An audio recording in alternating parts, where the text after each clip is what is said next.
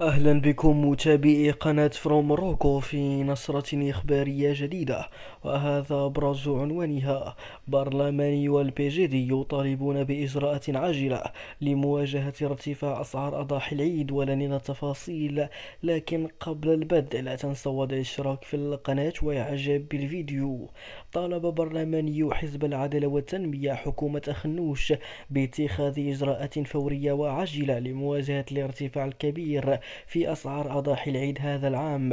وقامت المجموعة النيابية للحزب بمراسلة وزير الفلاحة والصيد البحري والتنمية القروية والمياه والغابات محمد صديقي معبرة عن تساؤلاتها بشأن الإجراءات التي اتخذتها الحكومة لضمان توفر أضاحي عيد الأضحى في السوق المحلية. وأشارت المجموعة النيابية إلى أن الإجراءات المتخذة قد تأثرت سلبا على المنافسة الشريفة مشيرة إلى أن المربين المحليين لم يستفيدوا من أي دعم في حين استفاد المستوردون من الدعم الحكومي مما أثر سلبا على الكساب المحلية كما عبرت عن قلقها إزاء الوسائل التي ستتبعها الحكومة للسيطرة على أسعار الأضاحي المستوردة في ظل زيادة المضاربات وتأثير قوانين العرض والطلب على الأسعار.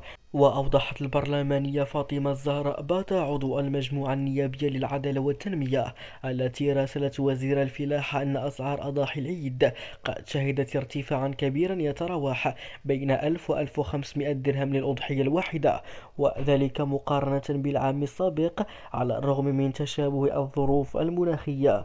وأكدت البرلمانية أن الإجراءات التي أعلنت عنها الحكومة مثل إلغاء الرسوم الجمركية والضريبة على القيمة المضافة لاستيراد الأغنام وتقديم منحة مالية بقيمة 500 درهم للأضحية الواحدة للمستوردين. أثرت سلبا على المنافسة الشريفة وطلبت البرلمانية بكشف استراتيجية وزارة الفلاحة والصيد البحري والتنمية القروية لضمان توفر أضاحي العيد بأسعار معقولة تتناسب مع القدرة الشرائية للمواطنين العاديين وتضفي قيمة مضافة على الإجراءات الحكومية.